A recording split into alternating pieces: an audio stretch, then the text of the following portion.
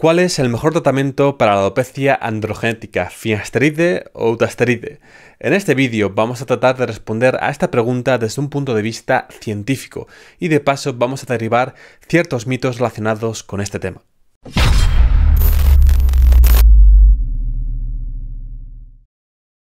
Este vídeo está dividido en diferentes capítulos, aunque te recomiendo que lo veas de principio a fin. Este es un tema complejo que se escapa a los conocimientos y la capacidad de comprensión de la mayor parte de doctores, por lo que te recomiendo sentarte en un sitio cómodo y disfrutar de este viaje en busca de la respuesta que muchos se hacen. ¿Cuál es el mejor tratamiento para la alopecia androgenética? ¿Finasteride o utasteride? Y como extra trataremos de responder a la cuestión de si debemos usar uno u otro compuesto dependiendo de dónde esté localizada nuestra alopecia, de si está localizada en la coronilla o en la zona frontal y en las entradas. Como la mayor parte de vosotros sabéis, la alopecia androgenética está causada por dos factores. Primero, la sensibilidad de nuestros folículos a la DHT y segundo, la cantidad de DHT que tengamos en nuestro cuero cabelludo. Evidentemente, si una persona no tiene folículos sensibles a la DHT, no tendrá alopecia androgenética. Y por otro lado, si una persona no tiene DHT en el cuero cabelludo, tampoco tendrá alopecia androgenética. ¿Y qué mecanismo regula la producción de DHT o dihidrotestosterona? La enzima 5-alfa reductasa es la encargada de transformar la testosterona en DHT. Existen tres tipos diferentes de la enzima 5-alfa reductasa y dos de ellas las podemos encontrar en la próstata. En concreto, la enzima 5-alfa reductasa de tipo 1 se produce principalmente en el hígado y la piel y se transporta a la próstata a través de la circulación sistémica. Y la enzima 5-alfa reductasa de tipo 2 es la principal forma de esta enzima en la próstata. Los tratamientos más populares para reducir los niveles de DHT en pacientes con alopecia androgénica son finasteride y utasteride. Y antes de que me lo preguntes, sí, finasterida y finasteride son lo mismo. En realidad, estos compuestos deberían llamarse en español finasterida y utasterida, aunque son más conocidos por su nombre en inglés, aunque pronunciado literalmente como suena en español. Pues bien, ambos compuestos inhiben la actividad de la enzima 5-alfa reductasa, que es la encargada de transformar la testosterona en DHT. De estos dos compuestos, finasteride fue el primero en aparecer en escena. Este fármaco fue aprobado en 1992, mientras que utasteride fue aprobado en 2002. Es importante destacar que de estos dos fármacos solamente finasteride ha sido aprobado para tratar la alopecia androgenética y que evidentemente existen muchos más ensayos clínicos autorizados controlados que han analizado la eficacia y la seguridad de finasteride en pacientes con alopecia androgenética.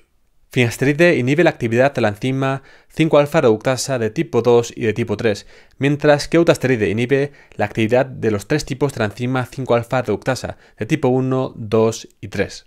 Aunque, como te explicaré más adelante, inhibir la actividad de la enzima 5-alfa reductasa de tipo 3 no sirve de nada para tratar la alopecia androgenética. Ya que tenemos toda esta información, ¿cuál de los dos es más efectivo para tratar la alopecia androgenética? Indudablemente, dutasteride es el fármaco más potente de los dos. Es hasta tres veces más eficaz inhibiendo la actividad de la enzima 5-alfa reductasa de tipo 2 y hasta 100 veces más eficaz inhibiendo la actividad de la enzima 5-alfa reductasa de tipo 1 que finasteride. Además, seguro que has escuchado en diferentes sitios decir que la eficacia de utasteride inhibiendo la conversión de testosterona a DHT es en torno a un 90%, mientras que la eficacia de finasteride es en torno a un 70%. Y esto está muy bien, pero si tenemos alopecia androgenética, lo que realmente nos interesa es reducir la DHT a nivel del cuero cabelludo. Según un estudio publicado en 1999, la reducción de los niveles de DHT tras 42 días de uso de finasteride es de un 64% utilizando 1 miligramo al día y de un 69% utilizando 5 miligramos al día de finasteride. Y al mismo tiempo, durante estos 42 días, la disminución de DHT utilizando el placebo fue de un 13%. Los niveles medios de DHT en suero disminuyeron un 71% para el grupo que utilizó 1 miligramo al día de finasteride y un 72% para el grupo que utilizó 5 miligramos al día de finasteride, siendo la reducción para el grupo que utilizó placebo de un 1%. Uno de los puntos más curiosos de este estudio es que el grupo que utilizó 0,2 miligramos al día de fiasterite obtuvo una reducción de los niveles de DHT prácticamente idéntica a los de los grupos que utilizaron 1 miligramo y 5 miligramos al día de fiasterite. Además, la reducción de los niveles de DHT en el cuero cabelludo también fue muy similar. Además, sabemos que aproximadamente un 68% de los pacientes que utilizan un miligramo al día de finasteride experimentan regeneración capilar, mientras que un 10% de los pacientes no experimentan ninguna mejoría y su alopecia sigue avanzando. En un estudio autorizado controlado publicado en 2006, los pacientes que utilizaron 0,5 miligramos al día de utasteride redujeron sus niveles de DHT en sangre en un 92% y sus niveles de DHT en el cuero cabelludo en un 51%, mientras que los pacientes que utilizaron 5 miligramos al día de finasteride redujeron sus niveles de DHT en sangre en un 73% y sus niveles de DHT en el cuero cabelludo en un 41%. Como vemos, los datos son ciertamente dispares. Si bien es cierto que existe un cierto consenso en relación a la eficacia de estos compuestos inhibiendo la conversión de testosterona a DHT a nivel sistémico, no está del todo claro cuál es la eficacia de estos compuestos a nivel del cuero cabelludo. No obstante, lo que realmente nos importa es cuál es la eficacia de estos compuestos haciendo regenerar pelo. Otro estudio autorizado controlado publicado en 2014 comparó la eficacia de diferentes dosis de utasteride contra un miligramo al día de finasteride y el placebo. Según este estudio, la dosis de 0,5 miligramos al día de utasteride es la más eficaz, siendo la dosis de 0,1 miligramos al día de utasteride prácticamente idéntica a la dosis de 1 miligramo al día de finasteride. Algo curioso de ese estudio es que la dosis de 0,02 miligramos al día de eutasteride no fue efectiva en absoluto, presentando unos resultados prácticamente calcados a los del placebo. Además, en ese estudio, tanto la dosis de 0,5 miligramos al día de eutasteride y de 1 miligramo al día de finasteride fueron efectivas, haciendo regenerar pelo tanto en la coronilla como en la zona frontal y en las entradas. El estudio publicado en 2006 sobre el que he hablado hace unos minutos analizó la eficacia de diferentes dosis de utasteride contra 5 miligramos al día de finasteride y el placebo durante 24 semanas. Este estudio analizó a pacientes con una alopecia de grado 3 con Vertex hasta 5 en la escala de Norwood-Hamilton, siendo el 60% de los pacientes analizados pacientes que tenían una alopecia de grado 4 a 5. Por tanto, la mayor parte de los pacientes analizados en ese estudio tenían una alopecia muy avanzada. En ese estudio, la eficacia de 5 miligramos al día de finasteride es bastante similar a la de 0,1 miligramos al día de eutasteride, siendo la dosis de 2,5 miligramos al día de eutasteride la más eficaz, aunque bastante comparable a la de 0,5 miligramos al día. De nuevo, este estudio solo analizó a pacientes con alopecia de grado 3 con Vertex 4, 5A y 5 en la escala de Norwood-Hamilton, siendo el 60% de los pacientes analizados en este estudio pacientes que tenían una alopecia de grado 4 o superior. Como vemos aquí, la dosis de 2,5 miligramos al día de eutasteride fue la más eficaz en la zona de la coronilla, siendo las dosis de 0,1 miligramos al día y 0,5 miligramos al día de eutasteride prácticamente idénticas en cuanto a la eficacia comparadas con 5 miligramos al día de finasteride. En esta otra gráfica podemos ver la evaluación del investigador en cuanto a la zona frontal y de nuevo vemos como la dosis de 2,5 miligramos al día de utasteride fue la más eficaz, pero también vemos como la dosis de 0,1 miligramos y de 0,5 miligramos al día de utasteride fueron prácticamente idénticas en cuanto a la eficacia en relación a la dosis de 5 miligramos al día de finasteride. Y si eres seguidor del canal desde hace bastante tiempo, sabrás que la dosis de 5 miligramos al día de finasteride es prácticamente idéntica en cuanto a la eficacia en relación a la dosis de 1 miligramo al día de finasteride. Es más, la dosis de 0,5 miligramos al día de finasteride también tiene una eficacia prácticamente idéntica a la dosis de 1 miligramo. Otro estudio publicado en 2017 comparó la eficacia de 0,5 miligramos al día de eutasteride contra 1 miligramo al día de finasteride en 90 pacientes con alopecia androgenética durante 24 semanas. De estos 90 pacientes, solo 72 completaron el estudio. Además, este estudio analizó solo a pacientes con alopecia de grado 3 con Vertex 4 y 5 en la escala de Norwood-Hamilton, siendo el 57% de los pacientes analizados en este estudio pacientes que tenían una alopecia de grado 4 o 5. Y según los resultados de este estudio de utasteride fue más eficaz que finasteride. Y todos estos estudios fueron recogidos en un meta-análisis publicado en 2019. Y esta revisión concluyó que dutasteride es más eficaz que finasteride para tratar la alopecia androgénica sin tener mayores efectos secundarios. Evidentemente, tras ver estos estudios, parece que dutasteride es más eficaz que finasteride para tratar la alopecia androgénica, siendo ambos compuestos efectivos para tratar esta afección y además siendo ambos compuestos efectivos para regenerar pelo tanto en la zona de la coronilla como en la zona frontal y en las entradas. Ahora bien, tenemos que tener en cuenta las limitaciones de estos estudios. Primero, la duración de estos ensayos clínicos fue de solo 24 semanas. Segundo, la muestra total entre estos tres estudios fue de solo 576 pacientes. Tercero, solamente se analizaron a pacientes con alopecias de grado 3 con vértex o superior, y el 60% de los pacientes analizados entre estos tres estudios tenían una alopecia de grado 4 o superior. Por tanto, la mayor parte de los pacientes analizados en estos estudios tenían una alopecia muy significativa. Y cuarto, en todos estos estudios, tanto los investigadores como los pacientes conocían qué medicamentos estaban tomando. Para los que no lo sepáis, los metaanálisis y las revisiones sistemáticas engloban los resultados de diferentes estudios para poder llegar a una conclusión que sea más significativa al analizar a una población que es más grande. Y a pesar de que este tipo de estudios son los de mayor rigor posible, no dejan de tener ciertos problemas.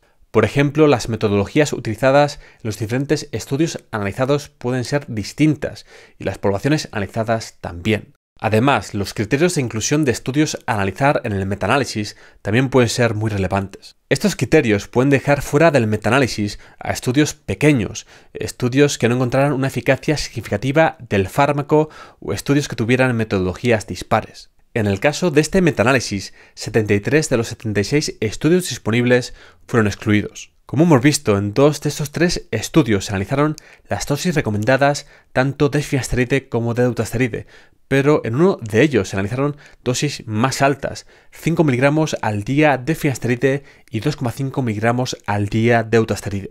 En efecto, se analizó una dosis de dutasteride más alta que la dosis recomendada para tratar la hiperplasia prostática benigna y resulta bastante extraño que se incluyera este estudio en este metaanálisis. Debido a las limitaciones de esta revisión, de este metaanálisis, uno no puede concluir solamente basándose en este estudio que eutasteride es más efectivo que finasteride para tratar la alopecia androgénica.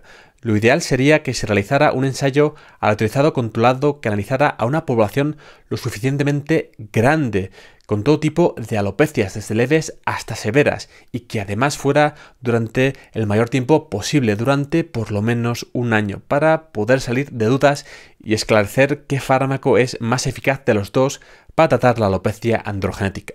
Pero por si esto no fuera suficiente, a continuación vamos a ver la evaluación subjetiva de los pacientes en este meta-análisis. En dos de los tres estudios analizados en esta revisión, no hubo una diferencia estadísticamente significativa en la autoevaluación de los pacientes en la coronilla, la caída del cabello y la calidad del cabello entre los dos grupos, con la excepción de la zona parietal. Y como comenta el autor de este metaanálisis, esta revisión tiene diferentes limitaciones. Primero, la duración de los estudios, que fue de solo 24 meses. Segundo, la población analizada, que fue muy pequeña. Y tercero, el hecho de que fuera open label, es decir, que los pacientes y los investigadores sabían qué medicamentos estaban usando durante el estudio. Además, como comenta el autor de esta revisión, con este estudio no podemos inferir la eficacia y seguridad de eutasteride y finasteride a largo plazo. Los criterios de selección y publicación han podido interferir en los resultados de esta revisión.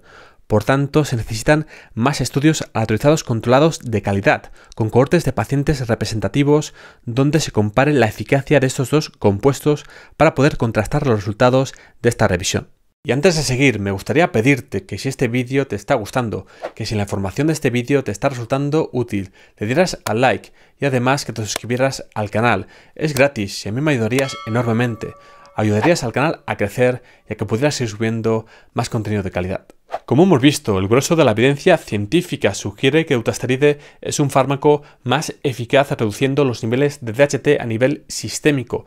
No obstante, no tenemos suficiente evidencia de rigor que sugiera que eutasteride es un fármaco más eficaz para tratar la alopecia androgenética que finasteride. Recordemos que lo realmente interesante es cuán eficaz es uno u otro fármaco disminuyendo los niveles de DHT a nivel del cuero cabelludo.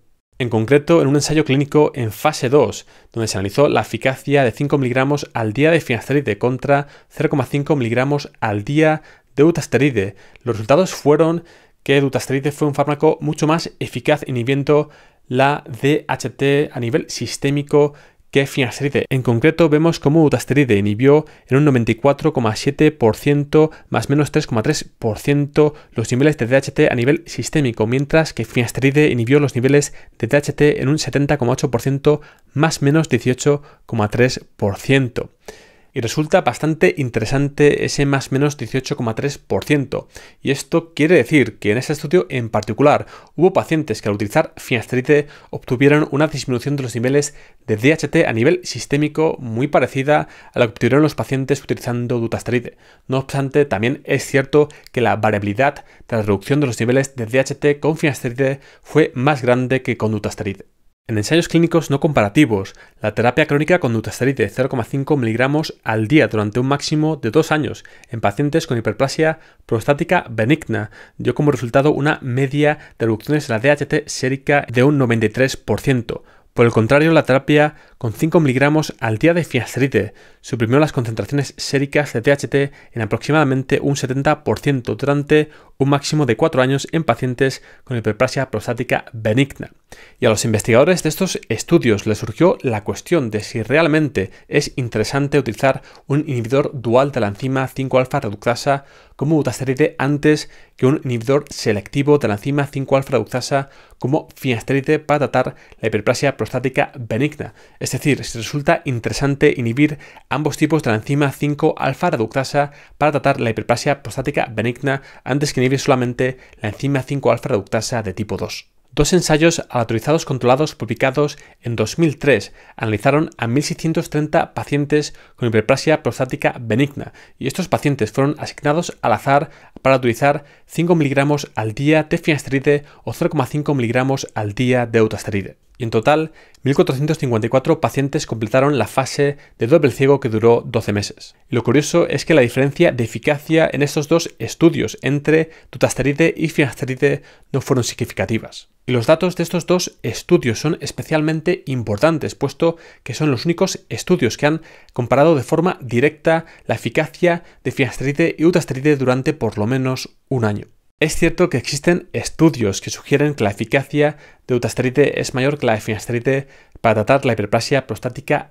benigna, como por ejemplo este estudio publicado en 2004. No obstante, este estudio analizó solamente a 120 sujetos durante un periodo de tres meses, por lo tanto, analizó a una población que no fue lo suficientemente grande y además la analizó durante un periodo de tiempo que no fue lo suficientemente largo para sacar ningún tipo de conclusión, puesto que este tipo de tratamientos deberían ser seguidos durante por lo menos un año. Y además, tenemos que tener en cuenta que este estudio, por ejemplo, no fue un ensayo clínico autorizado controlado por placebo en los dos únicos ensayos clínicos donde se ha comparado la eficacia de fiasteride contra dutasteride durante por lo menos un año. Se ha demostrado que la eficacia de ambos compuestos es equiparable, es prácticamente la misma, con un perfil de seguridad prácticamente idéntico para tratar la hiperplasia prostática benigna. Y aunque es cierto que estos dos estudios analizaron la eficacia tanto de finasteride como de dutasteride para tratar la hiperplasia prostática benigna,